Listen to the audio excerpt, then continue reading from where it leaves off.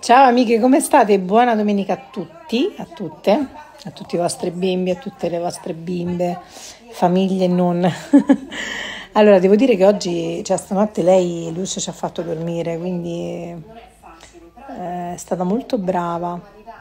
Sì, brava mam- mammina.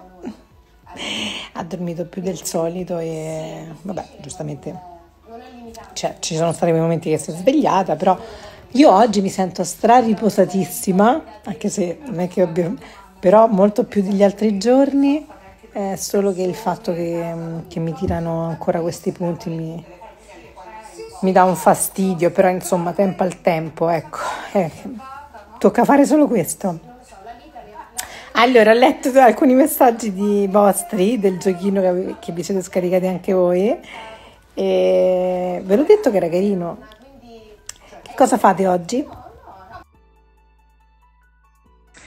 Io ho imparato nella vita, perché sono sempre stata così, eh, non perché io abbia affrontato una perdita di una figlia, allora da lì sono cambiata.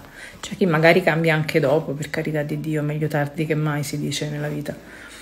Però io, mh, come sapete, mi sono sempre mostrata con, con, il sorriso e non mi sono mai fatta né hype né niente con le mie sofferenze. Se magari qualora ci fosse stato, ci, ci sono stati poi dei miei racconti è perché sono stata intervistata e quindi ho ehm, condiviso con, con tanti di voi che comunque tanti passano possono, possono, passare la mia stessa situazione, i miei drammi nella vita, ma non mi sono mai fatta una vittima perché io ho un altro carattere.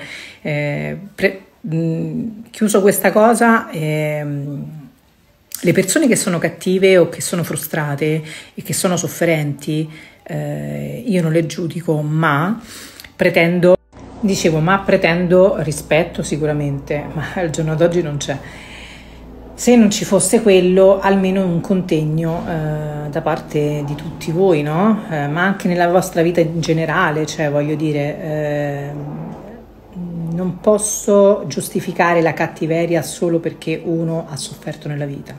Assolutamente no, perché chi è cattivo e chi è stronzo rimane stronzo, perché è proprio stronzo di natura.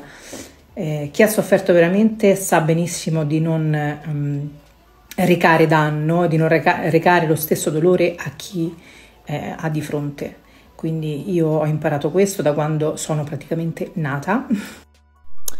Saggia la nostra selvaggia, io direi quello che ho detto anche ad altre persone, di lasciare perdere questi commenti stupidi che spesso arrivano da persone che sono solamente invidiose. Ricordiamo tutti che Selvaggia ha avuto appunto la perdita di una bambina uh, tempo fa.